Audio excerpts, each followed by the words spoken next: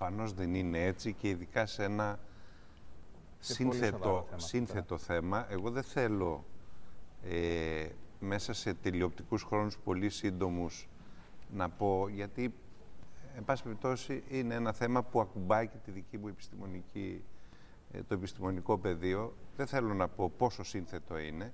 Θέλω να πω όμως ότι είναι σαφές ότι εδώ είναι ένα βήμα προοδευτικό και καλό όλους τους προοδευτικούς ανθρώπους να το στηρίξουν. Αυτό θέλω να πω και μόνο. Και θα φανεί και μέσα στη διαδικασία της Βουλής και νομίζω ότι αυτό θα βγει στο τέλος, ότι όλοι καταλαβαίνουν ότι αυτό προσθέτουμε στα δικαιώματα. Με αυτό το νομοσχέδιο προσθέτουμε στα δικαιώματα. Τελείωσε αυτό το θέμα.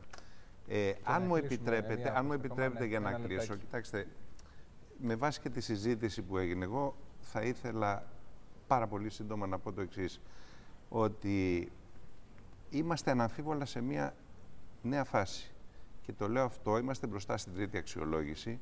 Υπάρχει εξέλιξη με το δούνου του σε σχέση με τις τράπεζες που είναι πολύ σημαντική η συμφωνία της με, το, με την ΕΚΟ του πώς ακριβώς θα γίνει η διαδικασία αξιολόγησης ε, των τραπεζών, τα, ναι. τα stress test. Είναι, είναι σημαντική είδηση και κρατήστε τι.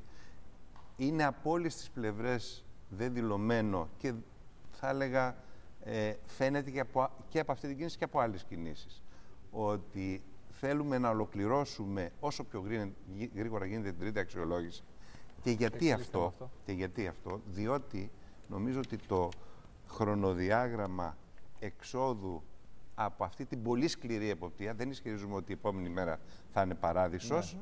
αλλά είναι ένα πολύ συγκεκριμένο και συγκροτημένο σχέδιο το οποίο νομίζω ότι έχει πολλές προϋποθέσεις να τελειώσει με επιτυχία.